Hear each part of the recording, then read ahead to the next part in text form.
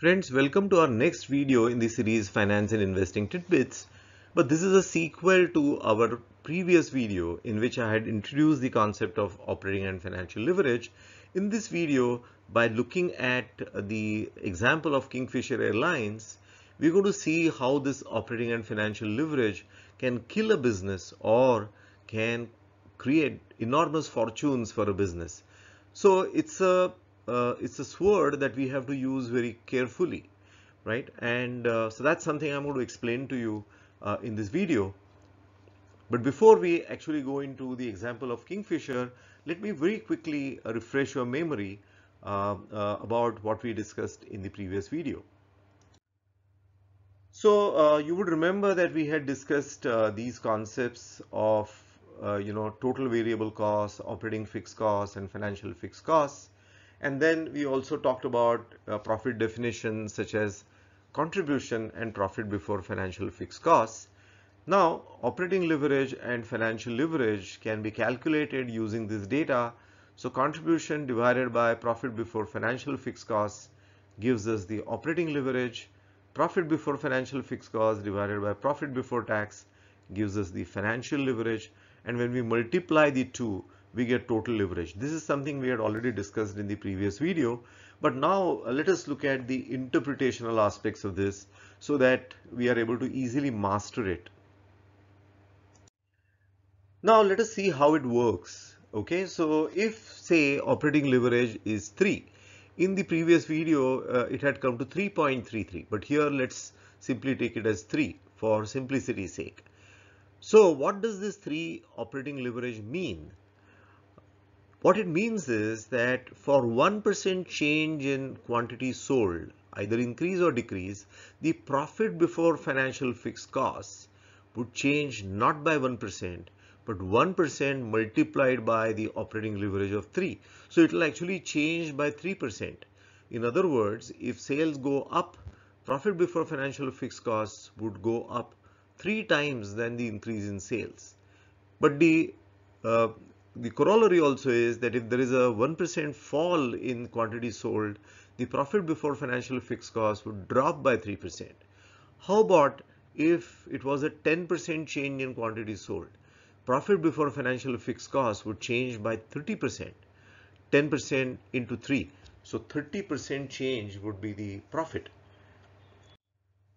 Now imagine if the financial leverage of the same company is say 2, right?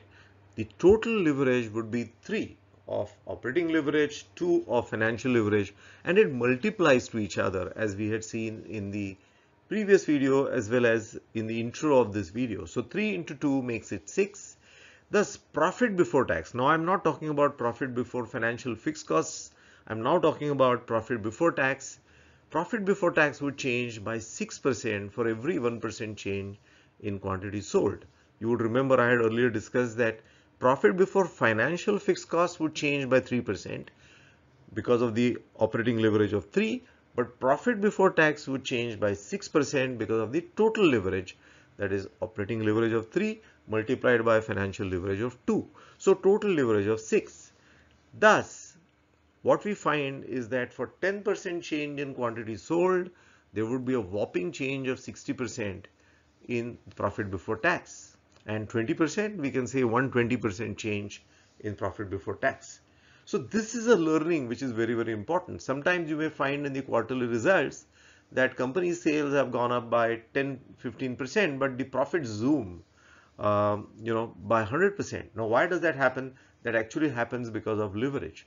So this is where there is a very key learning for us. Now whenever fixed operating costs are high, operating leverage would tend to be high. This is something I discussed in the earlier video also.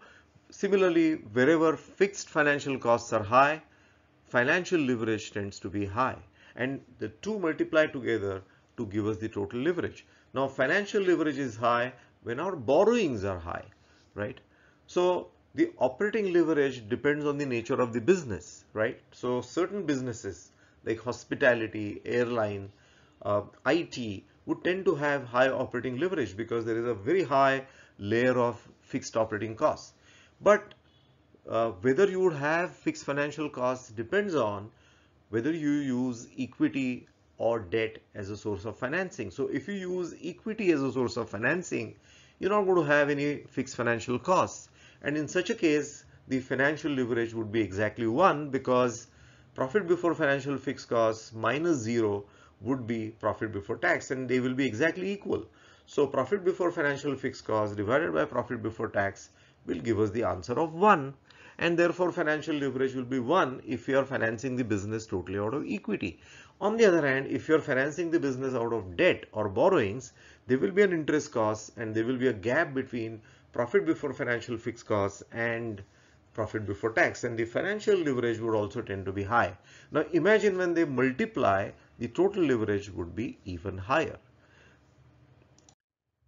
Now imagine the operating leverage is 5 and financial leverage is 2 as just we as we just said the total leverage is a multiplier of these two which is 10 so 10% fall in sales would result in a 100% fall in profits the entire profit gets wiped out. This is a big risk isn't it? That the entire profit is getting wiped out. So this is where businesses have to be very very careful. Now, when operating fixed costs are high, like in case of airlines, the firm has to keep financial leverage less. Because operating fixed costs are already high or already high, your operating leverage is going to be high. So don't multiply it with financial leverage. Keep the financial leverage low. So that can be done as we have just discussed by financing the business by equity rather than borrowings or debt. So Kingfisher Airlines uh, is a very interesting example because when they were set up, they ensured that they are very aware about this impact of operating and financial leverage. So how do you manage your operating leverage? One of the ways you can do it is that you try and reduce your operating fixed costs because as we have discussed uh, a couple of times, uh, higher the operating fixed costs, higher would be the operating leverage. So one of the things that they did originally uh, that they outsourced a lot of their activities to Indian Airlines. And some of you who may have traveled Kingfisher Airlines would know that their ticketing counters were actually the Indian Airlines counters. Their check-in counters were Indian Airlines counters and they had similar planes as Indian Airlines which were Airbus aircrafts. So even the repairs maintenance, what is called as MRO was outsourced to Indian Airlines. And that was a very prudent way of uh, managing operating fixed costs well and therefore operating leverage well. And further, they uh, had relied on equity financing to reduce the impact of financial leverage. So financial leverage was uh, only one because there was hardly any interest cost. But where did everything go wrong? The mistake happened when they acquired Deccan Air. That's where some strategic mistakes happened. So at that time, when the business uh, was undergoing a major acquisition, one has to be very careful because as you would have seen, major mergers, major acquisitions, there are a lot of integration challenges. There are cultural uh, differences and integrating two firms is never easy. Now, Kingfisher had positioned itself as a premier airline and Deccan Air was a low-cost pioneer. So when you try to integrate two completely diverse businesses, uh, which had different sets of aircrafts. One had Airbus, the other had Boeing's. Very different positioning in the marketplace, and I'm sure different work cultures. Um, you know, it would obviously take toll in terms of integration, right? And there was competition also, obviously.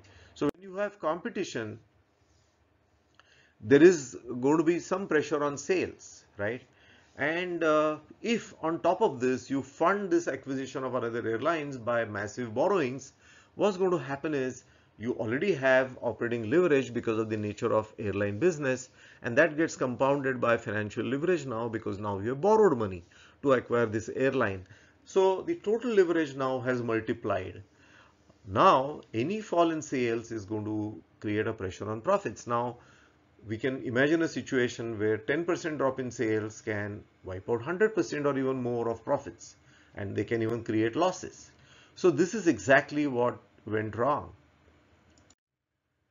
But remember, Kingfisher was not the only airline to fail for this reason. Swissair, which was once called as the flying bank, um, because it belonged to a very rich nation of Switzerland, had also expanded aggressively using borrowings.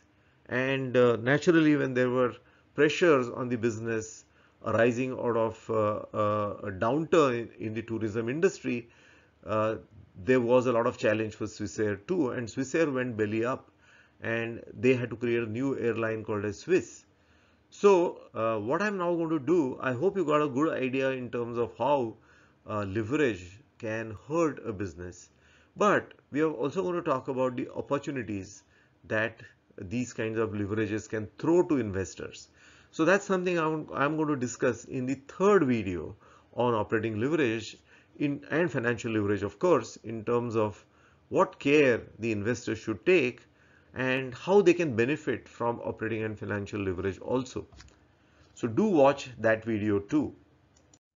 For more such videos, do explore our channel, Dr. Abhijit Phadnis. Thank you so much.